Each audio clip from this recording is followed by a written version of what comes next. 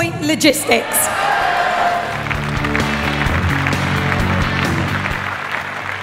It's a fantastic uh, award. We have uh, developed something fantastic, new in the industry, and um, I'm, I'm, really proud for Mark and his team who have uh, done a fantastic job. So it's, it's a great award for the business. The rest of the training team who, who work really hard in the academy on a day-to-day -day basis. Obviously Dominic because he inspires what we do uh, in the industry and then it's left to us to put his thoughts into reality